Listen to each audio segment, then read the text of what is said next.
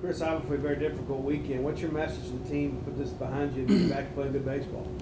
I told them to keep their heads up. Um, it's a difficult. It's, it's as frustrating and disappointing it is for everyone. It's probably more on them, and uh, we have to get better. We have to improve individually, coaches, everything, uh, to play better baseball. We're just not playing a very high-level brand of baseball right now, and we, we have to get better. Uh, And it seemed like that second time through the order, LSU kind of shifted their focus and looking soft early in counts and those first pitches. I mean, did you notice that? And how can you maybe maybe make things a little less predictable? I. I, think it's it's more. We pitch that way all weekend because if you throw fastballs, that you're gonna they're gonna get a bunch of them. We ended up with throwing fastballs late, and you saw some of the balls hit. So I think it's more.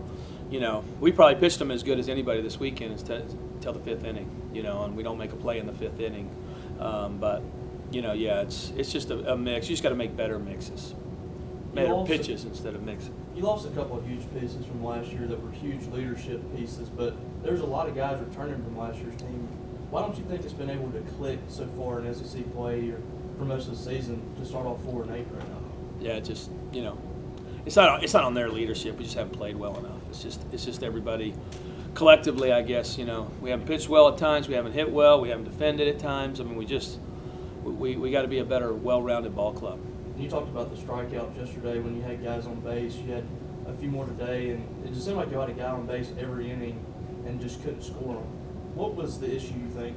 Uh, just you know, not getting a hit. Probably pretty basic as that. But just not getting a hit with guys on base. RJ has emerged as arguably your best player on the team. Uh, you know, obviously he's living up to your potential, but you know, does that send a challenge maybe the rest of the team? You know, hey, this is a guy that just got here. He's he's leading us. Let's let's go. Yeah, I, mean, I just you know, RJ's a great kid. Uh, great leadership abilities too, and, and he kind of had a slow start, so he had to fight through it and get back in there, and um, he's played really well here of late. Saw Slate come in, hit a pinch hit home run. Is he a guy you could think could get some more at bats down the road? Yes, yes. We, we have to find some guys on our bench to give us a little bit more than what we're getting in our lineup, and I got to get him more bats. As frustrating as the left on base is, if you're still doing something right to get guys on base. What's the next piece to finish it off and get them in? A lot of times it's just somebody getting that big hit, and then it'll start to roll. Confidence, I guess, is more than anything. We're just, you know, we're- we're not getting, you know, we're just not even. To me, it's for, it's not even about getting a hit. It's just having a good at bat, hitting the ball hard, putting the ball in play. We're not even getting that in those situations. So, I mean, we just have a lot of strikeouts. You guys obviously have the- home field advantage that you have here. I mean, what were you seeing from LSU just throughout this weekend? It seems like mentally they, they were not very fazed at, at all by the by the environment. No, no, they weren't. You know, we, we didn't put a lot of pressure on them. So you got to put pressure on them, get big hit. We talk about it all the time. You get a big hit, put the crowd into it. Never got the big hit. Just you know, and it, what it does is it builds confidence in that other dugout. Every time they get us out, every time they make a pitch, it makes it you know tougher. You know, they just they get more comfortable in the environment, I guess. What did you see from Cade today? I mean, obviously he's been solid for you all year. It was good early, you know. I mean, it was good in the fifth. You know, we don't make a play, and I think he got frustrated.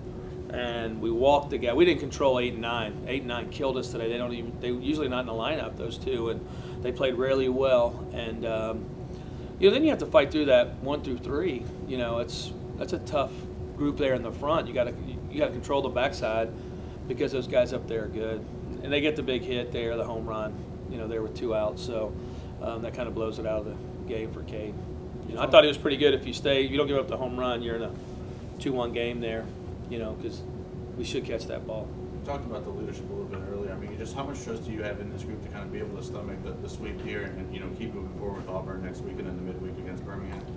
They don't have a choice. They got to keep. They got to show up and be ready to play. Um, it's tough. I mean, it's it's tough, and, and we've had tough times here before and fought through it, and we're just going to have to fight through it. I mean, we got good kids. They're great kids. They're bought in.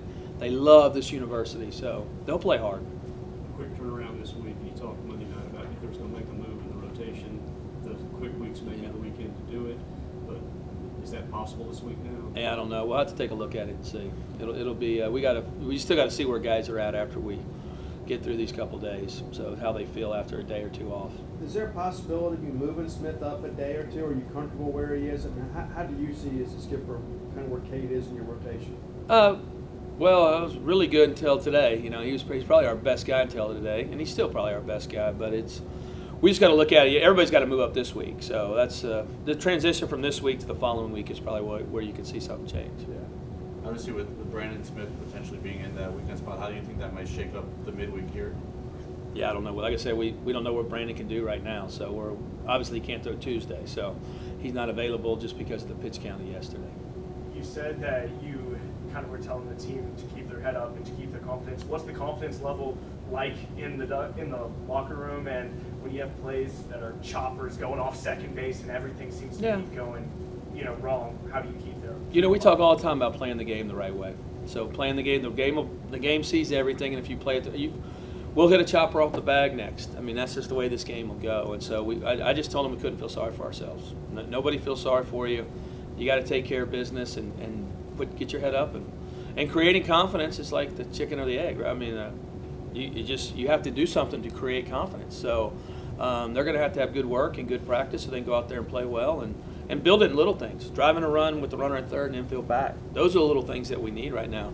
Make a good pitch. You know, make a play. It's not we're not asking for home runs and shutouts. We're just wanting them to play, make better pitches and, and better at bats.